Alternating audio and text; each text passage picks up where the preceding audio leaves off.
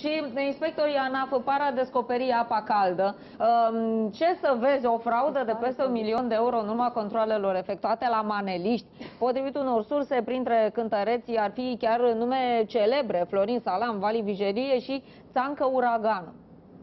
Inspectorii antifraudă se țin scai de milioanele lăutarilor și maneliștilor. Până în prezent, 10 cântăreți de manele au fost verificați în totalitate de inspectorii ANAF. Pe această listă se numără nume cunoscute, precum Florin Salam, Țancă Uraganu sau Vali Vigelie. În urma verificărilor, inspectorii ANAF au descoperit că cei 10 maneliști au fraudat statul cu peste un milion de euro, majoritatea sumei provenind din bani nedeclarați încasați la cântări. Acțiunea vizează verificarea veniturilor și a declarării acestora începând cu anul 2011, întrucât doar pentru acestea se poate aplica potrivit legii atât regula de impozitare a veniturilor, a căror sursă nu a fost identificată, cât și procedura de verificare.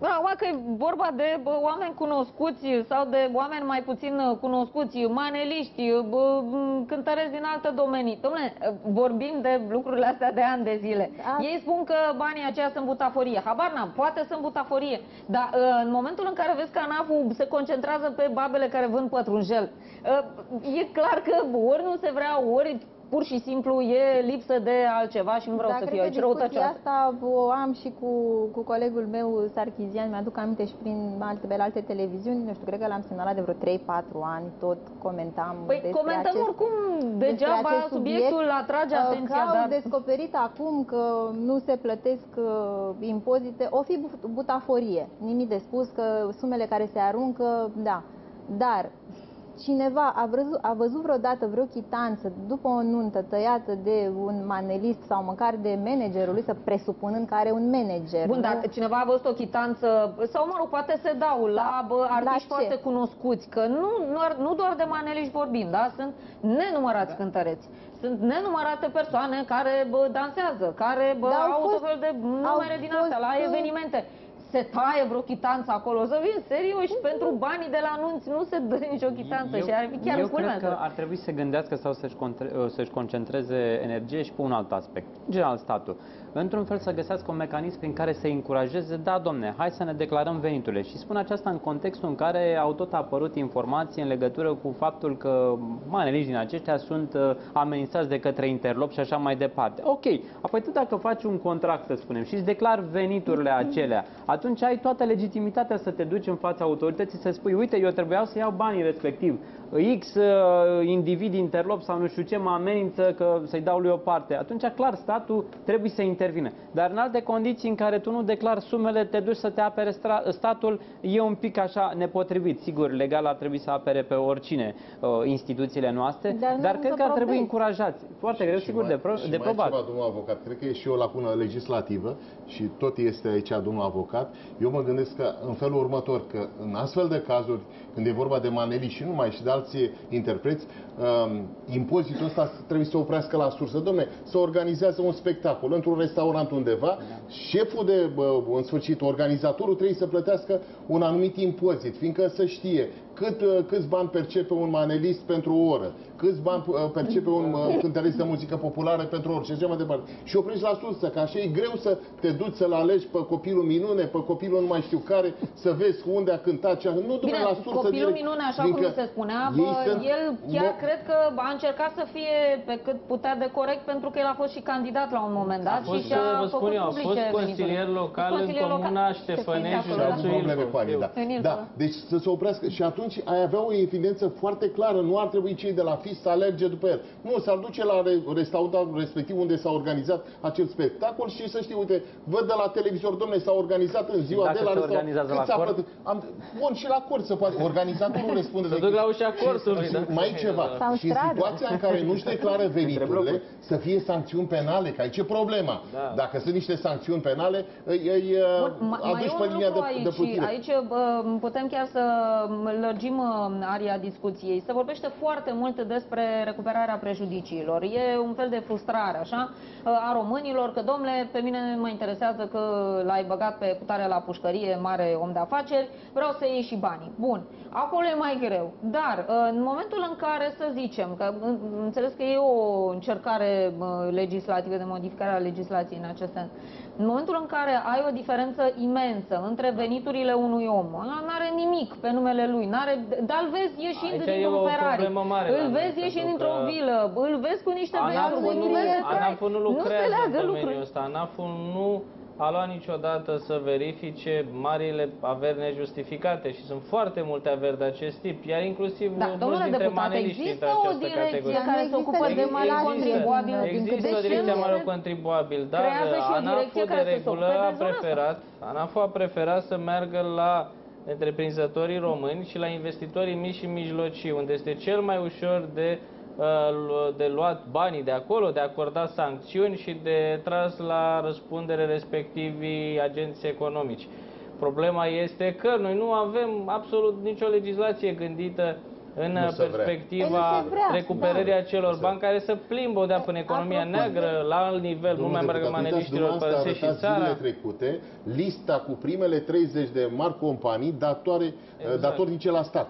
Erau, spre exemplu, era o companie uh, care se ocupa de, de țigări și avea uh, sediu în, într-un apartament la Mogoșaia. Uh, Datorie la stat vreo 400 de milioane de dolari. Doamne, păi cum ne-ai lăsat pe ăla să facă o datorie de Păi 400 de știți milioane? cum? Dacă nu Se e, primește exista o un telefon cârdășie și totală s-a și cu cei de discutat. la ANAF, cu cei de la Ministerul de Finanțe, ANAF-ul- cu lumea politică și uite cine ne spune. Păi ne spune Vâlcov, care a fost ministru de finanțe și a fost condamnat ca la ANAF-ul pagă un a milion. N-a fost protejat- condamnat încă. a Nu a fost protejat, e anchetat. Ne spune Bleșner, care e la fel, care a fost șeful fiscului. Mai era încă o firmă care se ocupă de, de alcool, tot la fel. Niște bă, pagube ANAF a imense. protejat în ultimii ani și nu doar în ultimii ani Și zeci o de serie de, ani. companii multinaționale care externalizează miliarde anual din România și în același timp s-a repezit brutal asupra capitalului românesc din zona productivă, din zona care este la suprafață, nu din economia subterană. Deși o Din păcate, directivă aici- europeană care Exact, obligă chiar să... ieri am o- vorbit aici de exact, directiva asta. Ca să bă, fie impozitată uh, la sursă Ce s-a uh, întâmplat? banii, Exact, veniturile, exact da. aceeași Și situație nu cu se aplică la impozitul noi. la sursă Deși de care vorbeați trebuia să dumneavoastră. E aplice. directiva Nu se aplică 1164 de ce? Că au fost, 2016. au fost foarte multe discuții în care s-a și spus că a dat telefon domnul Siria către Da, anumiți Hai să vă spun cum s-a anumite întâmplat. Persoane Asta- influente. S-a Stați un pic, discutat să vă în presă Noi, chiar uh, acest PNL-ul am Asta făcut un acuzăm, proiect de acuzăm, lege, uh, vreau doar, doar un pic. Uh, PNL-ul, noi am făcut anul trecut un proiect de lege, l-am depus la Parlament, a intrat pe rolul Senatului la 1 noiembrie 2016, iar la 27 noiembrie 2016 a intervenit încetarea procedurii legislative Domnul- prin domnul deputat, clasare. așa Așadar, este. Dacă actuala putere PNL-ul a se fost la teme să facă putere, n-a acest făcut lucru. absolut nimic. Atunci când ești la putere poți să faci. Dă o ordonanță de urgență, intră imediat în, în vigoare. Dar atenție, că avem aici un, un mare specialist în, în domeniul ăsta al justiției. Uh, În Statele Unite, Mark Rich, miliardarul Mark Rich, care a de- de lapidat statul american cu 50 de milioane de dolari, atenția, a fost condamnat în America 300 la 327 de ani de pușcărie, da? L-a pus instanța să mai plătească o amendă de 40 de milioane, a plătit în total 90 de milioane de dolari imediat și a fost grațiat. Asta trebuie să fie și la noi. Da. Justiția, după modelul american. Corect. Domnule, Da, sancțiunea da. trebuie Asta- să fie asta e cel mai- exemplară așa ar fi trebuit și să aduce fie. el banii din, din firmele offshore. Și să vă mai spun că acum, uh, bă, dacă îmi permite, domn, și îmi permiteți dumneavoastră și domnul avocat, domnule, uh, orice sancțiune penală are cinci componente. Una, se sancționează pedeapsa. Doi, atenție, să recuperează prejudiciu. 3. Are caracter de prevenție și prevenție o faci când ai sute de ani de pușcărie, ca la americani, recupe- reintegrare și reeducare. La noi are deci doar niciuna primul. din, din, din niciuna din comp- componentele astea nu este, uh, cum să zic, o satisfăcută de codul penal care a fost promovat de cine? De doamna Bica, de, doamna, de domnul Ponta și Așa noi este. Modelul american, într-adăvăr, este cel mai uh, fericit exemplu ales de Și către eficient. dumneavoastră, pentru că acolo fapta de evaziune este asimilată crimei. Crime, și da. dacă stai să te gândești cu, în, uh, în profunzime, cam chiar așa este. Într-o crimă, ferească Dumnezeu, Corect. ucizi un om. Dar în momentul în care nu dai niște bani către stat, apoi banii ăia nu pot fi folosiți Către către sănătate, spitale, da, către alte Bun, să ne, asiguri de gândim, genul să ăsta. ne gândim totuși și la bă, partea cealaltă. În momentul în care tu, ca stat, faci niște legi tâmpite, le schimbi de la o lună la alta. Ai ce problemă? Îl Adică pui nu pe, uitați, îl nu pui pe om flexibilitate în situația de a legislativă, face fără să vrea evaziune. Sunt că foarte nu mulți care au știe făcut omul evaziune cum fără se să schimbă. știe. Sigur. Asta e Exact, alt- se e alt schimbă de la o aspect. lună la Legea alta. ar trebui nu există modificată. Dacă, intenție. Cei dacă întoarși în sunt momentul alte în categorii. care Codul penal vorbește și statul, de dacă în intenție. momentul în Exact, care da. statul nu face nimic, Corect. Nu face nimic să stopeze bă, evaziunea acolo unde ea e bă, la un nivel înalt, da? tu te bă, bazezi pe babele care vând în piață sau pe mici întreprinzători sau pe bă, IMM-uri Exact, și cum se nu-i întâmplă vezi acum. pentru că nu trebuie să-i vezi pe cei care chiar fac Corect. niște coțcării undeva bine păziți, Păi în cazul ăsta ce dreptate eu mai cred e, că ar ce trebui să justiție fie- mai e? Eu cred că ar trebui să fie un T0. De aici să pornim, să schimbăm într-adevăr legi clare fiscale, să știi obligațiile și sancțiuni exemplare, Și să cum nu spunea se dumneavoastră. schimbe, Cu alt- domnule avocat, să nu cu se alt- schimbe de cu la alți o lună la politicieni. alta. Uh, Regulile se schimbă Așa de la o este. lună la alta, sunt uh, împovărătoare. Practic ești în situația în care bă, să, fa- să comiți o ilegalitate pentru că nu Neștiință. poți să te menții pe linia de plutire. dorește. Asta Știți ce spun se întâmplă? foarte mulți dintre Codul cei care penal- încearcă să aibă o Codul afacere în penal România. vorbește, atenție, vorbește de intenție, deci nu există intenție dacă greșești, nu știu ce, nu cunoști tu foarte bine legea. Deci Dar nu legea e scuză. interpretabilă, E știți, interpretabil. da. Să existe intenție, să existe faptă și să existe prejudiciu. Deci nu e chiar așa. Deci unul care greșește, care, cu pătrunjelul, cum spuneați dumneavoastră, nu poți să-l bagi în pușcărie. Îi dai cel mult o amendă, că n-a cunoscut legea. Că Nu nu am spus, există nu o am spus intenție. că se, nu, nu bă, vreau să spun. Că se Dar pune știți problema unde de e cea mai mare pușcărie, problemă? dar Domnule, vedem, uitați- că, vedem uitați că câte- cele mai multe controle sunt Așa e, într-o la anumită mări. zonă. La mări, exact. Păi și pe de altă și parte- uh, persoanele care bă, ajung să aibă niște datorii imense, acele firme Da. care ajung la niște datorii imense, uh, firme care nu sunt verificate Exact, cu exact, ani, exact. pentru că, uh, de exemplu, a Da. fost un articol uh, de curând în România Liberă că Teldrum, da, despre care da. se tot vorbește în aceste zile, nu a fost verificată niciodată, deși firmă cu există, acțiune- cu deși există acțiune la această, purtător. da, o firmă Care- importantă offshore, care adică. are o grămadă de bă, contracte. și mai uitați- O firmă care nu a fost verificată niciodată de acea direcție mai contribuabil, Păi- care întâmplător era condusă o bună bucată de timp de actualul ministru de finanțe, domnul Mișa. Am, am înțeles actualul ministru de finanțe cât timp era în ANAF, singurul, singura sa preocupare era cum să parvină și cum să Asta își nu avem de unde să contureze știm, e o un acuzație, profil e o politic. acuzație Uitați-vă personală că până la știm urmă aici. dacă omul își face Am treaba discutat- pentru care este angajat acolo. Dar nu și-au făcut-o nimeni la Am mari discutat cu doamna contribuabili. Irina de mult. Da, sigur. Scanerele din vamă, că au fost cumpărate cu niște ani în urmă și discutam despre scanner, toate sunt blocate.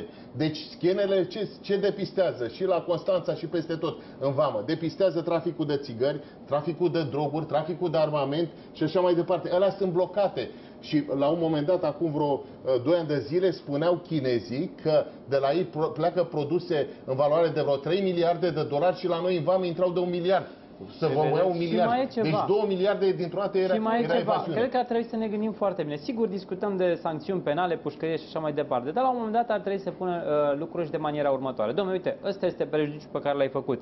Îl plătești și plătești ceva în plus, scap de penal. Pentru că, în definitiv, noi trebuie să fim interesați să se recupereze Dar să-i banii. spună domnul avocat exact, că să plătească în ceva în penal stai plus. vreo 100 de ani și atunci imediat recuperează. și nu să intre un om în pușcărie, pentru că Deci- acolo tot Trei pe ani spezele sau- noastre stă Domnul individul avocat, respectiv. că, Apelăm la dumneavoastră că sunteți în Parlament. Vă Promovați, domnule, o lege prin care corupția, din punct de vedere al pedepsei, să fie asim- asimilată cu crima, exact cum spunea și domnul bă, avocat, și să vedeți cum se rezolvă tot.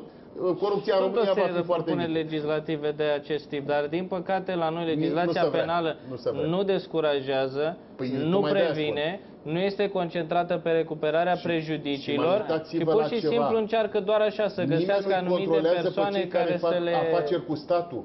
Aici ne spune, aici ne spune Curtea de Conturi că se fură niște miliarde, 16-17 miliarde de Sunt euro mai, în sunt, fiecare mai, sunt mai multe interese. Deci, în primul rând sunt Curtea de anumite, Conturi ne spune. sunt Deci, anumite personalități autoritatea suspuse cea care mai- au interesul exact, ăsta. Autoritatea. Deci, domnule, când fur, să Și- fură până achiziții publice, sumele astea imense Mai sunt și nu se facă companii, nimic. mai sunt și companii străine care și-au cam câștigat de un fel acord de cu asta. imunitate Exact. judiciară în România și pe care nici ANAF nu au recurat să le controleze. Și mai Aceștia sunt discutam cei doi ceva, factori legi, care... legile achiziții, achizițiilor publice, atenție, n-au nivel de preț, n-au nivel de oportunitate, de calitate, n-au sancțiuni penale. Păi cum să nu fure? Deci la noi este Sunt concepute paradisul să permită hoților. deopotrivă și frauda și ineficiența sistemului de achiziții publice, iar pe altă parte să permită în cazul în care se dă vreun ordin să e vreo răzbunare politică de făcut, ca oricine să poate fi interpretat drept Bine, atunci uh, ai infractor. nevoie de Bun. răspunderea judecătorilor. Da, ne întoarcem Legea. după publicitatea Ceea ce la n-avem. discuția noastră.